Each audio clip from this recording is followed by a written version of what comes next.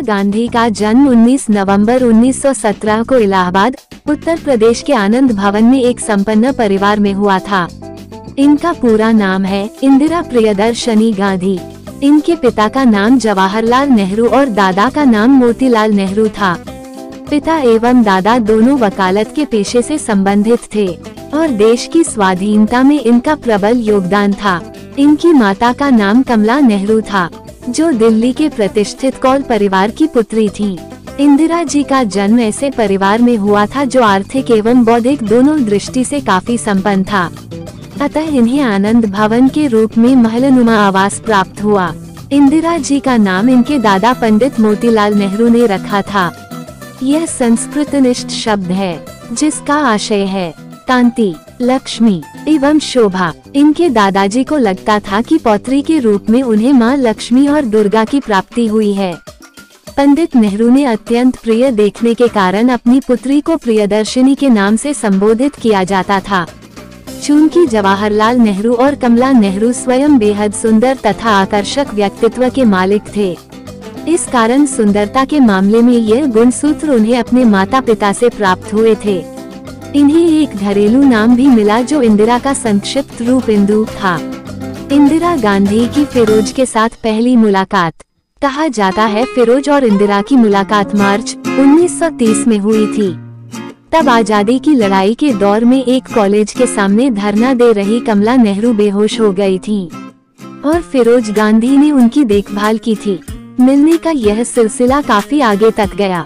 कहा जाता है, फिरोज कमला नेहरू की तबीयत जानने के लिए उनके घर जाया करते थे। इसी बहाने उनकी मुलाकात इंदिरा गांधी से भी हो जाती थी। 1936 को जब कमला नेहरू का देहांत हुआ, तब भी फिरोज गांधी उनके पास थे। फिरोज गांधी के भीतर सेवा और संवेदना का आत्मीय तत्व था, यही वजह थी कि युवा इंदिरा उनकी ओर आकर्षित हुई। इलाहाबाद में रहने के दौरान फिरोज गांधी के रिश्ते नेहरू परिवार से बेहद मधुर हो गए थे। वे अक्सर आनंद भवन आते जाते थे। 1942 में दोनों ने शादी कर ली। हालाँकि नेहरू इस शादी के खिलाफ थे, लेकिन बाद में वो मान गए। पारसी परिवार के फिरोज और हिंदू परिवार की इंदिरा के बीच संबंध से उन दिनों भारतीय राजनीति में भूचाल न आ जाए, इसलिए महात्मा गांधी ने उन्हें गांधी सरनेम दिया। 1942 में फिरोज और इंदिरा की शादी हिंदू रीति रिवाजों के अनुसार हुई। इस तरह इंदिरा के नाम में भी गांधी सरनेम जुड़ गया। वो इंदिरा गांधी हो गई और फिर दोनों की संतानों के नाम में भी गांधी सरनेम जुड़ा। इंदिरा के दोनों बेटों राजीव गांधी और संजय गांधी की पत्नी बच्चों के नाम में भी गांधी सरनेम जुड़ा। फिरोज इंदिरा का रिश्ता क्यों खराब हुआ? फिरोज इंदिरा दुनिया से लड़ झगड़ कर एक हुए, लेकिन साल भर के भीतर ही दोनों में अनबन शुरू हो गई। इंदिरा ने फिरोज के बजाय अपने पिता के साथ रहना शुरू कर दिया।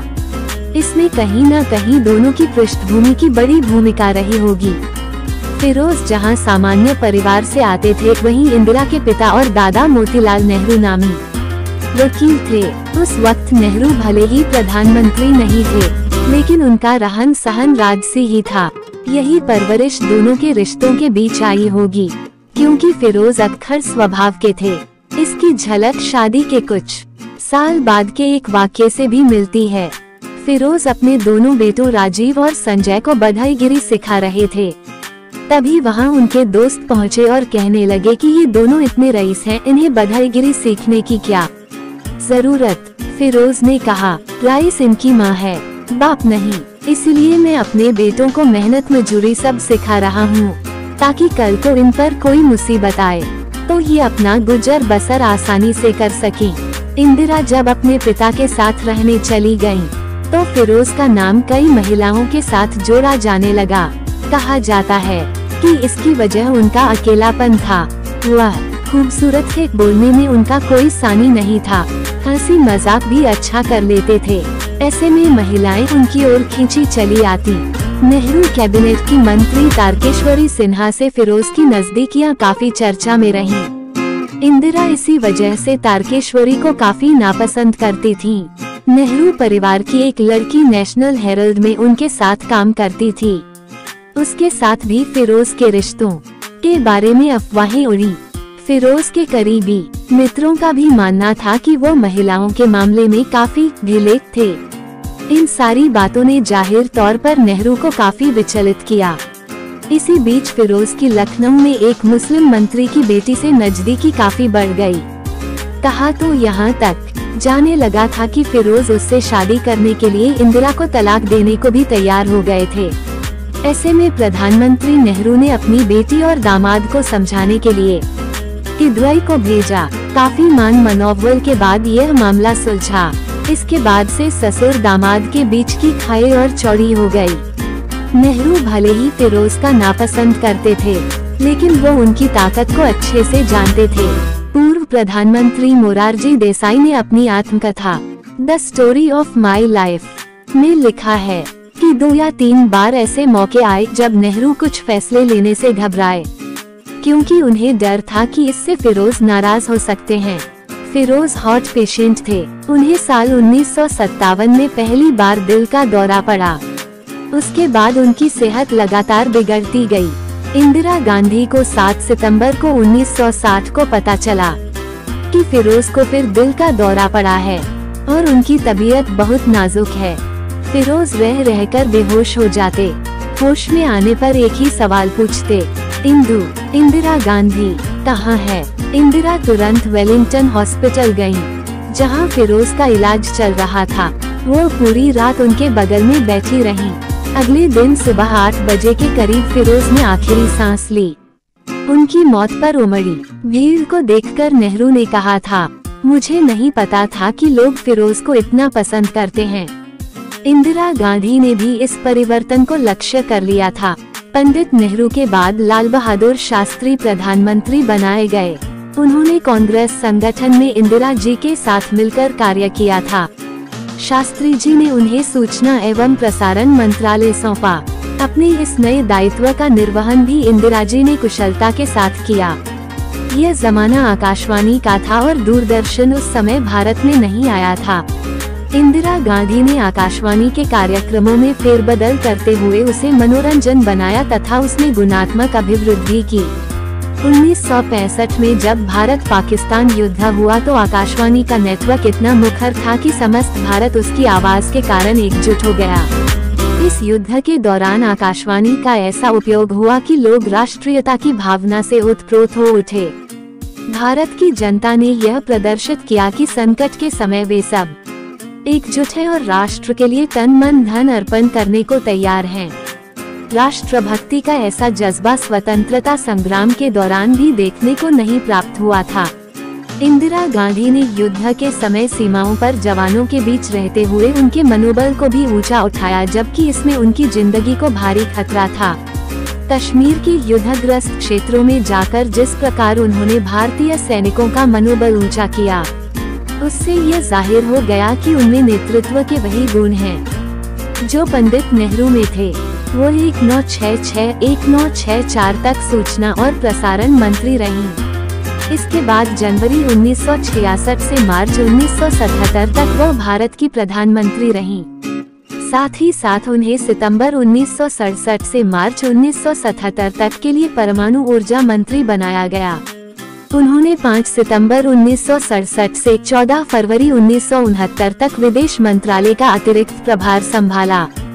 श्रीमती गांधी ने जून 1970 से नवंबर 1973 तक गृह मंत्रालय और जून उन्नीस सौ बहत्तर में उन्नीस सौ सतहत्तर तक अंतरिक्ष मामले मंत्रालय का प्रभार संभाला। जनवरी 1980 से वो योजना आयोग की अध्यक्ष रही।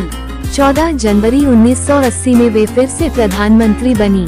श्रीमती इंदिरा गांधी कमला नेहरू स्मृति अस्पताल, गांधी स्मारक निधि और कस्तूरबा गांधी स्मृति न्यास जैसे संगठनों और संस्थानों से जुड़ी हुई थी। वे स्वराज भवन न्यास की अध्यक्ष थी। 1955 में वह बाल सहयोग, बाल भवन बोर्ड और बच्चों के राष्ट्रीय संग्रहालय के साथ जुड़ी। श्रीमती गांधी ने इलाहाबाद में कमला नेहरू विद्यालय की स्थापना की थी। वह उन्नीस सौ छियासठ माइनस सतहत्तर में जवाहरलाल नेहरू विश्वविद्यालय और पूर्वोत्तर विश्वविद्यालय जैसी कुछ बड़ी संस्थानों के साथ जुड़ी रहीं। उन्होंने दिल्ली विश्वविद्यालय न्यायालय 1960 माइनस चौसठ में यूनेस्को के भारतीय प्रतिनिधिमंडल, एक नौ छह शून्य, एक नौ छह चार में यूनेस्को के कार्यकारी बोर्ड और उन्नीस सौ बासठ में राष्ट्रीय रक्षा परिषद के सदस्य के रूप में कार्य किया वह संगीत नाटक अकादमी राष्ट्रीय एकता परिषद, हिमालयन पर्वतारोहण संस्थान, दक्षिण भारत हिंदी प्रचार सभा, नेहरू स्मारक संग्रहालय, पुस्तकालय समाज और जवाहरलाल नेहरू स्मृति निधि के साथ जुड़ी रही। प्रधानमंत्री इंदिरा गांधी की हत्या 31 अक्टूबर उन्नीस सौ चौरासी को नई दिल्ली के सफदरगंज रोड स्थित उनके आवास पर। सुबह साढ़े नौ बजे की गई थी। ऑपरेशन ब्लू स्टार के बाद उनके अंगरक्षकों बेअंत सिंह और सतवंत सिंह ने गोली मारकर उनकी हत्या की थी। दोस्तों, इस दिन हमने भारत माता को खो दिया था। इंदिरा गांधी की कहानी वैसे तो बहुत लंबी है, पर हमने कुछ ही शब्दों में इस कहानी को आप लोगों को बताने की कोशिश की है।